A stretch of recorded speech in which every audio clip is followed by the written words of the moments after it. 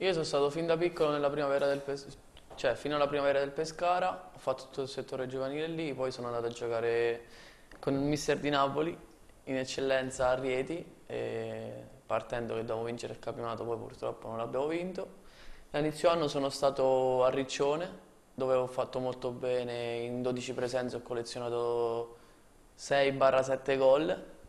Perché ce n'è uno che ti contendi con un difensore avversario, come dicevi Poi, prima. ovviamente lì ero molto seguito, difatti ho avuto per una settimana tante chiamate da parte del, sia del Rimini che del Sant'Arcangelo, io ho scelto il Sant'Arcangelo dove ho firmato un triennale con loro e adesso sono venuto in prestito secco qui fino a fine anno all'Ischia sperando di riuscire prima di tutto a salvarci e sia per, per, me personalmente di riuscire a giocare e continuare a far bene. E io ovviamente a Sant'Arcangelo firmai subito dopo lo svincolo in Serie D e sono stato lì precisamente due settimane, quindi sì, ho conosciuto ragazzi, però diciamo non sono stato come qui perché lì non, non ho indossato la maglietta, non sono stato attaccato veramente a quei colori. Sì.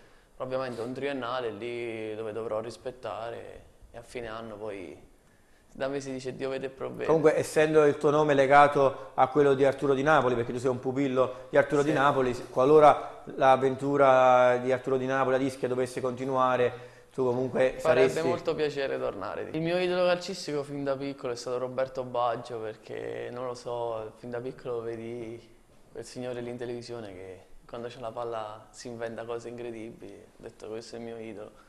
Ovviamente se ero come lui adesso non mi trovavo in cima, mi trovavo forse più in alto. Però io penso che ho delle grandi doti, ad esempio una tra queste è la velocità perché sono molto veloce, ho un bel calcio e poi ovviamente io non, non sono un tipo che si... Dio diciamo, vede problema. Dio vede